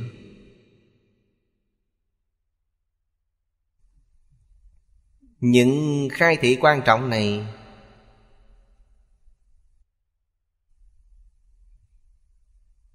Chúng ta phải thường ghi nhớ trong lòng. Phải thường áp dụng công phu quán chiếu Trong cuộc sống hàng ngày.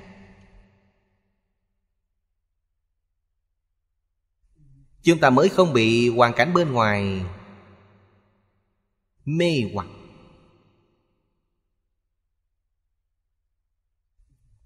Ngày xưa ở Trung Quốc, Thông thường quán chiếu Đều dùng kinh Kim Cang.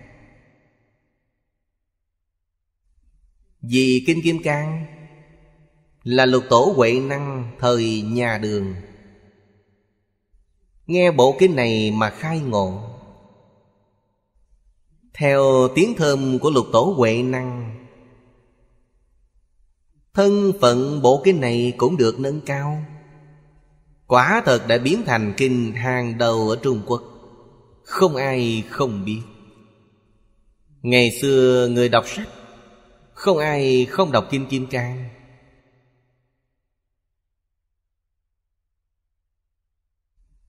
Trong Kinh Kim Cang dạy rằng, Phàm sở hữu tướng, giai thị hư vọng. Nhất thiết hữu di pháp như mộng huyễn bào ảnh. Trong cuộc sống hàng ngày Gặp những cảnh giới này, Thuận cảnh, Sanh tâm tham ái, Nghịch cảnh, Sanh sân nhuệ, Oán hận. Đọc hai câu này trong Kim Kim Cang sẽ tiêu trừ. Tham ái là phiền não, Sân nhuệ cũng là phiền não. Sáu căn tiếp xúc cảnh giới lục trần, Sanh phiền não, không sanh trí tuệ. Nếu thật sự hiểu được, Tất cả cảnh giới không phải thật.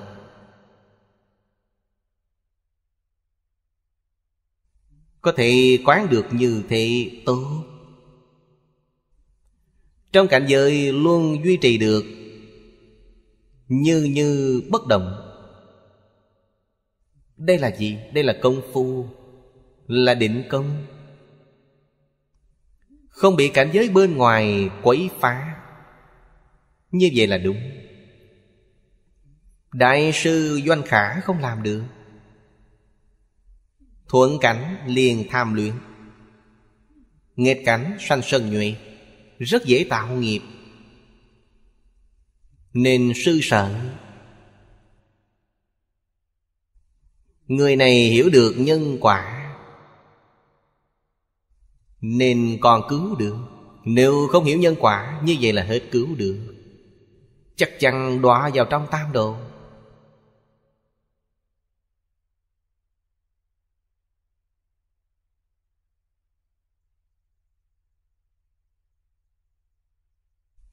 Nghe kinh lâu ngày, Dần dần hiểu được chân tướng của nhân sanh vũ trụ. Hiểu càng nhiều, Hiểu càng thấu triệt. Mới thật sự buông bỏ. Buông bỏ tham luyện, Buông bỏ sân nhuệ, Buông bỏ ngu si, Buông bỏ ngạo mạn, Buông bỏ hoài nghi. Trên đường đạo Bồ Đề, Quý vị rất thuận lợi. Niệm câu Phật hiệu này công phu đắc lực.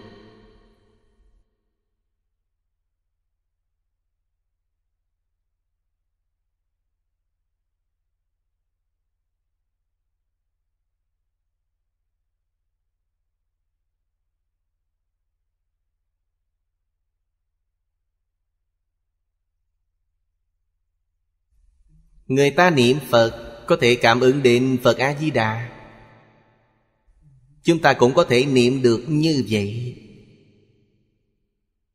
Phật A-di-đà rất công bằng. Tâm Phật bình đẳng. Hoàn toàn dựa vào cảm ứng. Chúng ta có cảm, Ngài liền ứng.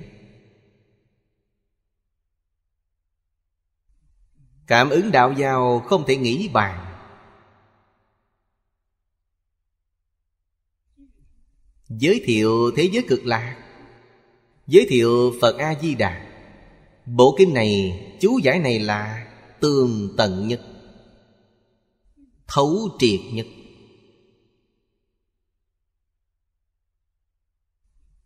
Nếu như muốn biết Quý vị phải cố gắng đọc bộ chú giải này. Đọc bộ kinh này. Nguyện vọng quý vị nhất định có thể đạt thành.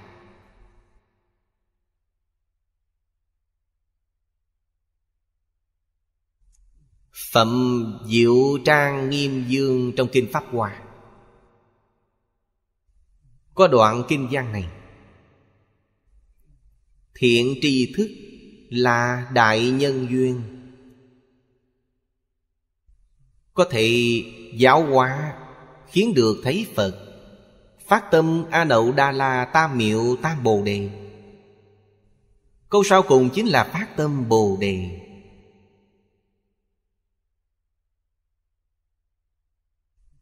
Chứng tỏ, thiện tri thức đối với chúng ta rất quan trọng. Thiện tri thức là gì? Là người thầy. Câu đầu tiên trong tịnh nghiệp tam phước Dạy chúng ta, Hiếu dưỡng phụ mẫu, Phụng sự sư trưởng.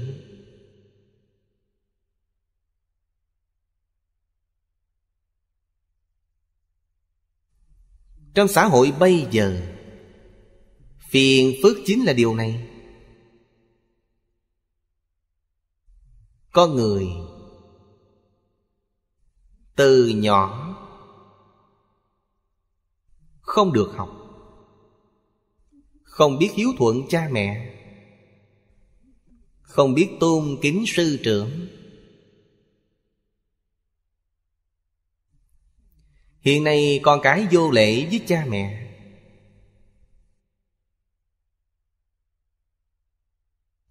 Học sinh đối với thầy cô Không có chút lễ phép. Thậm chí tôi còn nghe nói Có một số trường học Để học sinh phê bình thầy cô.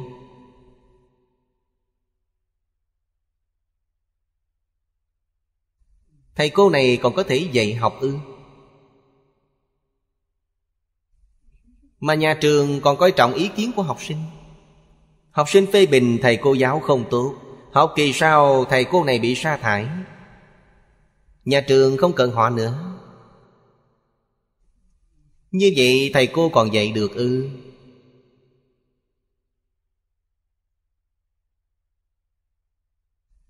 Nếu thầy cô vì cuộc sống Phải đối tốt với học sinh Học sinh có thể học được gì chăng?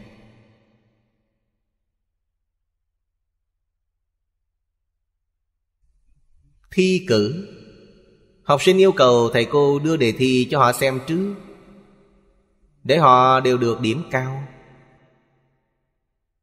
Nếu thầy cô không đồng ý, Học kỳ sau coi như khỏi vậy Chúng tôi không thích thầy cô đó.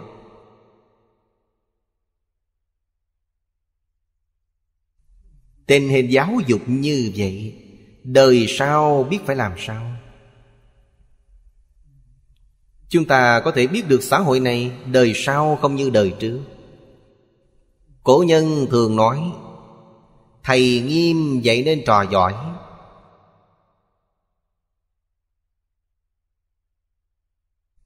Hiện nay phụ huynh phối hợp với học sinh, Không phối hợp với thầy cô. Thầy cô rất đáng thương.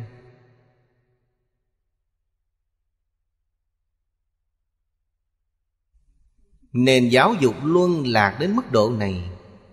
Bất quá là gần đây. Vấn đề của năm 60 năm trước. Khi tôi học tiểu học Là chiến tranh Trung Nhật bộc phát. Là thời đại đó.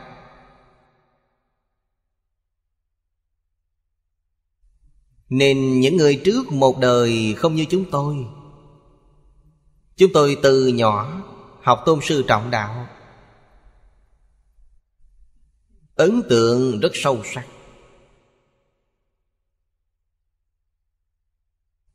Lúc nhỏ sinh ra ở nông thôn.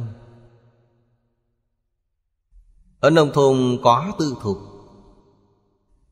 Quê nhà chúng tôi ở nông thôn. Phong tục đi học rất thịnh. Đó là quê hương của phái Đồng Thành. Chịu ảnh hưởng này nên nếp sống học hành rất thịnh.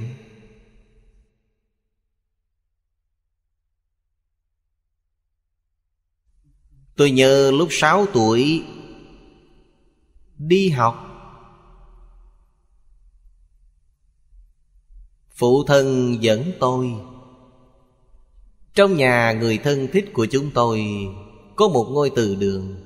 Từ đường của gia đình họ, Tư thuộc đã dùng từ đường để dạy học. Chỉ có một lớp, Có khoảng hơn 30 học sinh. Chúng tôi nhỏ nhất, Sáu bảy tuổi là nhỏ nhất. Học sinh lớn nhất khoảng mười ba, mười bốn tuổi. Một đám trẻ con như vậy cùng nhau học.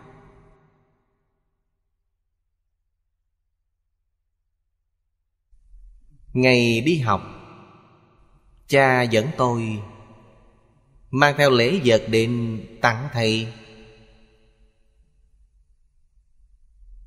Vào lớp học, Đại diện của từ đường Đổi thành lễ đường. Ở giữa đặt một bài vị lớn, Khổng tử, Đại thành chí thánh tiên sư Khổng tử chi thần dị. Mấy chữ đó tôi đều biết. Đặt bài vị lớn như vậy, Thầy giáo đứng một bên bài vị của khổng tử, Học sinh đứng hai bên. Chúng tôi lạy khổng tử trước. Hành lễ trước tượng khổng tử. Ba quỳ chín khấu đầu, Lễ ngày xưa.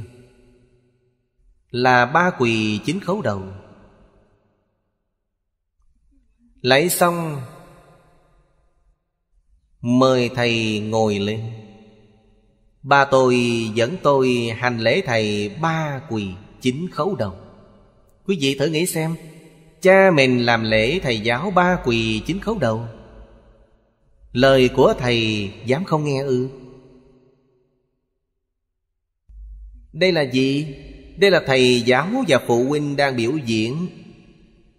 Dạy học sinh tôn sư trọng đạo. Ấn tượng này quá sâu sắc.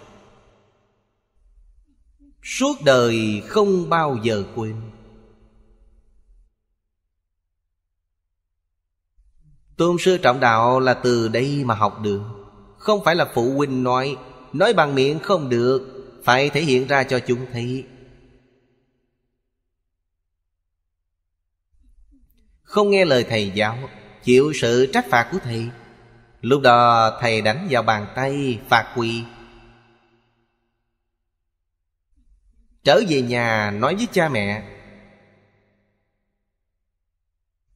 Ngày mai cha mẹ mang theo lễ vật đến trường, cúi đầu trước thầy cảm ơn thầy đã quản giáo.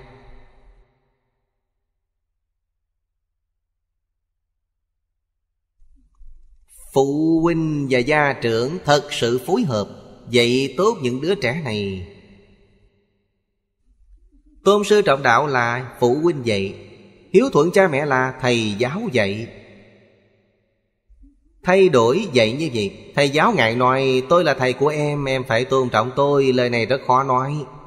Còn cha mẹ, ta là cha mẹ của con Còn phải hiếu thuận cha mẹ, Cũng rất khó nói ra. Bởi vậy, dạy hiếu thân là việc của thầy giáo. Dạy tôn sư trọng đạo là việc của cha mẹ. Như vậy mới dạy tốt được bọn trẻ. Hiện nay không còn. Hiện nay cha mẹ theo con cái. Đối đầu với thầy cô. Đối lập với thầy cô. Như vậy là xong.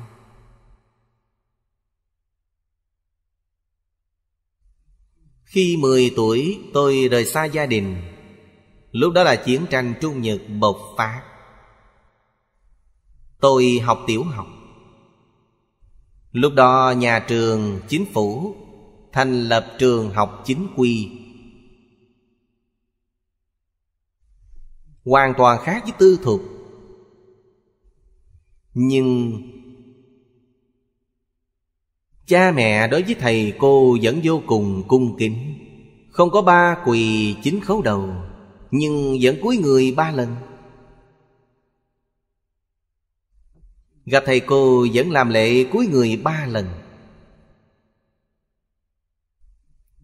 Nếu ở trường phạm sai lầm, Bị thầy giáo xử phạt Cha tôi ngày thứ hai nhất định phải đến trường thăm thầy. Cảm ơn thầy.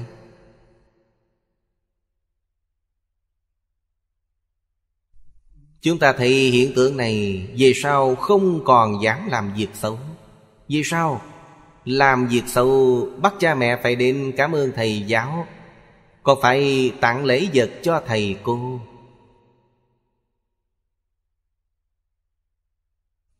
Chúng tôi liền tự động chú ý Không làm việc xấu nữa, Bị giáo huấn một lần, Không dám tái phạm lần thứ hai.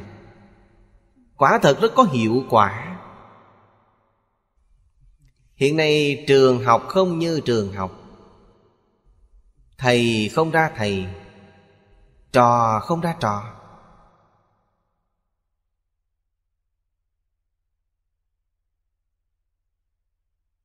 Đây là loại thiện tri thức vô cùng quan trọng. Thật sự phải coi trọng vấn đề này. Chúng ta xem tiếp đoạn bên dưới. Đoạn này càng hay hơn. Muốn chứng bồ đề nên cầu thiện hữu. Đạo cầu thiện hữu Phải như trong kinh viên giác nói.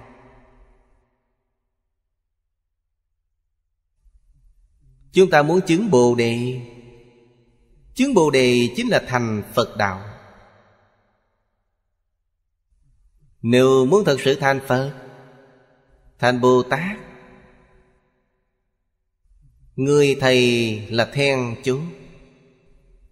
Rất quan trọng. Quý vị phải tìm được người thầy giỏi. Đạo cầu thiện hữu, Đây chính là thân cận thiện tri thức. Đạo thân cận thầy giáo Như Kinh Duyên Giác nói, Trong Kinh Viên Giác có một đoạn như vậy. Chúng sanh đời mạt thị Phát đại tâm. Thời kỳ mạt Pháp, Chính là nói thời đại hiện nay của chúng ta, Thật sự phát đại tâm. Muốn học Thánh Hiền, Muốn học Phật Bồ Tát.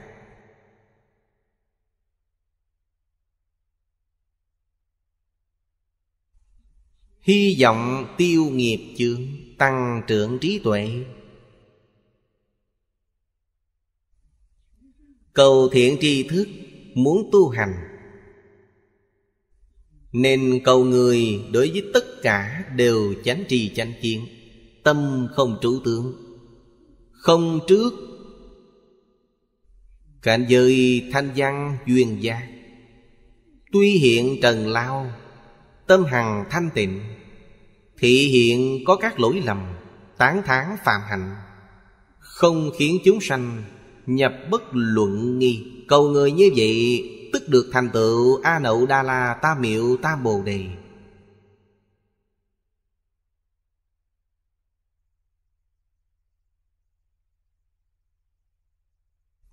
Ý của đoạn kinh văn này rất hay.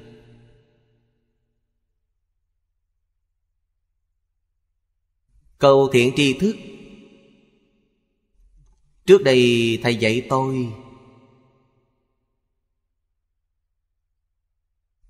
Yêu cầu thiện tri thức như thế nào? Có tu, Quả chứng.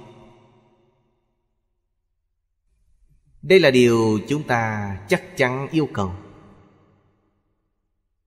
Nhưng thời đại này không có. Thời đại này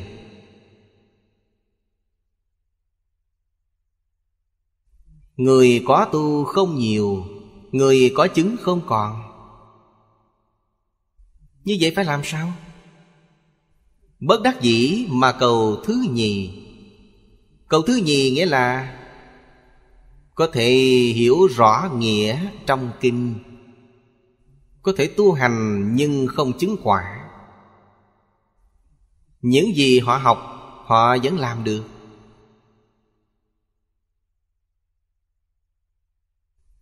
Nếu thực tế không có, Họ không làm được. Nhưng những gì họ nói không sai, Cũng được. Họ không làm được, Bản thân chúng ta có thể làm được. Đây là tốt nhất. Điều này chính là cổ nhân nói. Thanh xuất ư lam, Nhi thắng ư lam. Học sinh thành tựu hơn thầy. Thầy nói được nhưng không thực hành. Học sinh nói được, làm được. Đây cũng là thầy giáo tốt Sợ nhất là thầy giáo tri kiến bất chính. Người này không được theo họ. Nên mấu chốt là ở tri kiến.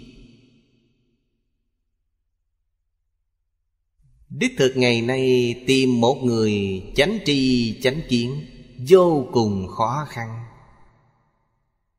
Trong niên đại này tôi gặp được ba vị. Lúc đó vẫn còn. Tôi gặp được là giáo thọ phương Đông Mỹ, Đại sư Chương Gia và cư sĩ Lý Bính Nam. Ba người này Không những chánh tri chánh kiến, Còn thật sự tu hành. Thật sự có thể làm tấm gương tốt cho chúng ta. Đây là chân thiện tri thức. Thân cận thiện tri thức không sợ khổ.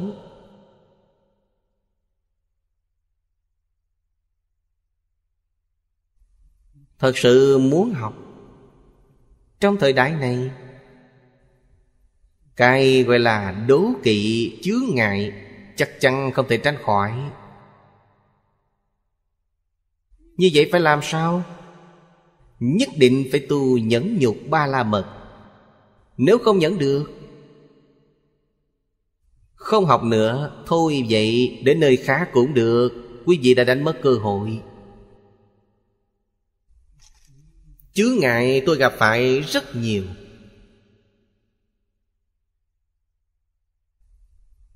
Tuyệt đối không rời xa thầy. Vì sao vậy? Thầy không bảo tôi đi. Tôi tuyệt đối không đi.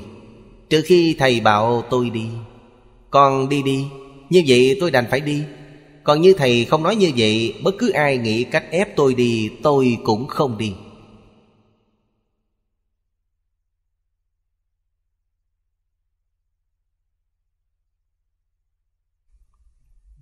Có thể nhẫn nhục, Có thể chịu đựng được, Điều này vô cùng quan trọng.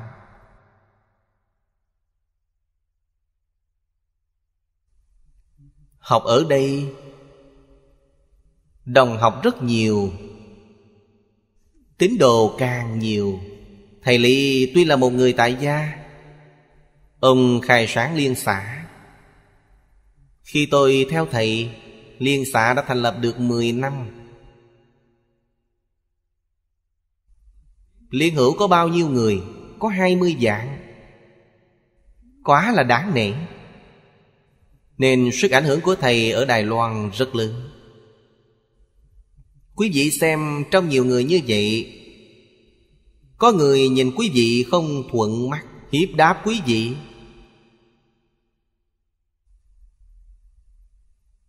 Nếu quý vị không thể nhẫn nhục, Đành phải ra đi, Thì quý vị sẽ chẳng học được gì.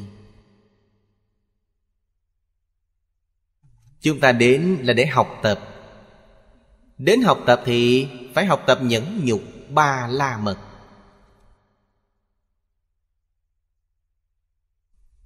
Bất luận dùng phương pháp gì ép tôi, Bản thân tôi cũng biết, Tôi sẽ không đi. Chưa học thành tôi sẽ không đi. Lúc đó có một số bạn tốt Tôi từng nói Từng nói với họ, Tôi nói, sau khi tôi học xong, Tôi sẽ không đến đài Trung nữa. Chưa học thành, Tôi tuyệt đối không ra đi. Tôi ở đó suốt 10 năm mới ra đi.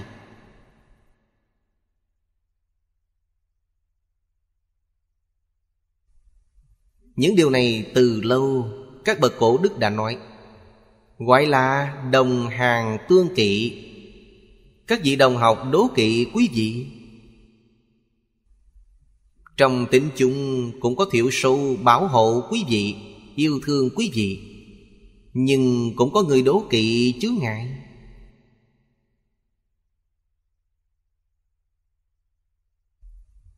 Nên điều này nói rõ Cầu thiện hữu rất quan trọng.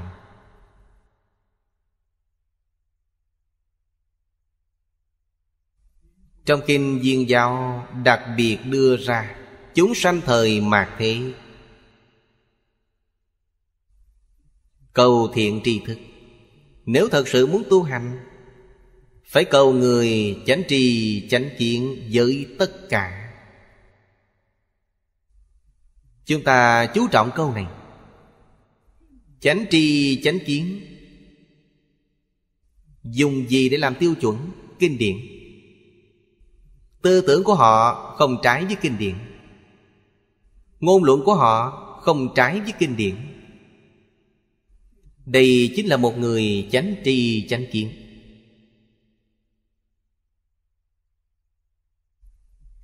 Kinh điển là tiêu chuẩn. Nếu những gì họ nói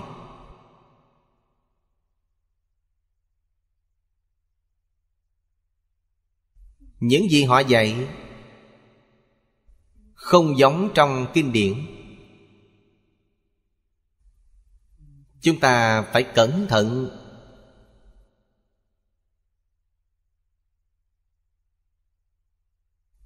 Vì sao vậy?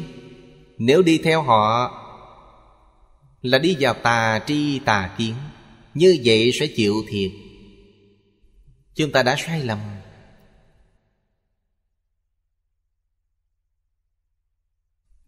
Bị nhiễm nếp sống này, Sau này muốn quay đầu sẽ rất phiền phức. Vậy phải làm sao? Rời xa. Nếu những gì người này nói, Trong cuộc sống hàng ngày thấy họ nói chuyện, Đều có thể tương ưng với kinh điển.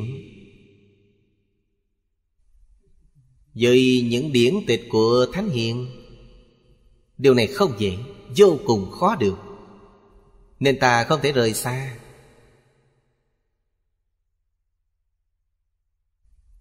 Thậm chí, Ở đây nói rất hay. Tâm không trụ tượng, Không chấp trước cảnh giới thanh văn, duyên giác. Đây là một vấn đề, Tâm không trụ tượng, Điều này rất khó. Đây không phải là người bình thường. Không chấp trước cảnh giới thanh văn duyên gia Đây là cảnh giới tiểu thừa, Nhưng là tu đại thừa. Tâm hiện trần lao, Tâm hằng thanh tịnh.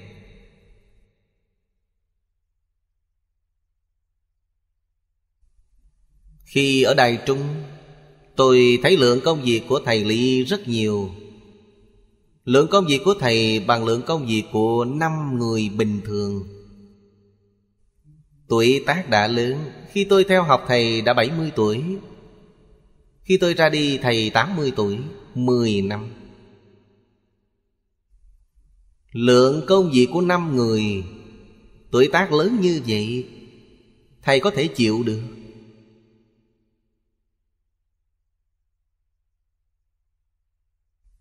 Lúc 70 tuổi, quý vị thấy thầy Hình như chỉ khoảng hơn 50 tuổi. Tinh thần thể lực rất mạnh khỏe. Tâm địa thanh tịnh. Thị hiện có những lỗi lầm, Khen ngợi phạm hạnh. Có những việc họ không làm được. Bản thân không làm được, Người khác làm được, Nên khen ngợi họ. Tự mình khiêm tốn, Tự mình sám hối. Người đó tu tốt hơn tôi Tôi không bằng họ.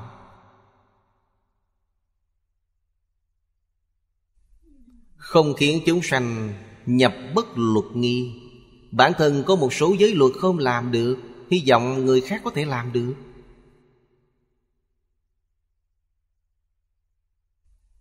Đây chính là chánh tri, chánh kiến.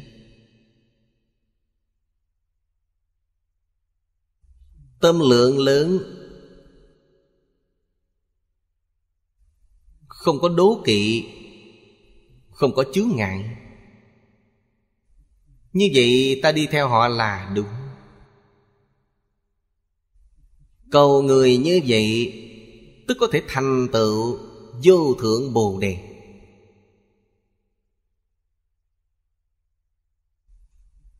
Bên dưới là Hoàng Niệm Tổ.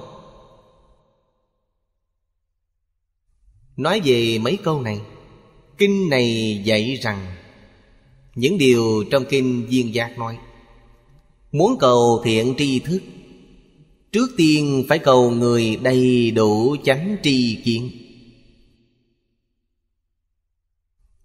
Tiêu chuẩn chánh tri kiến là gì?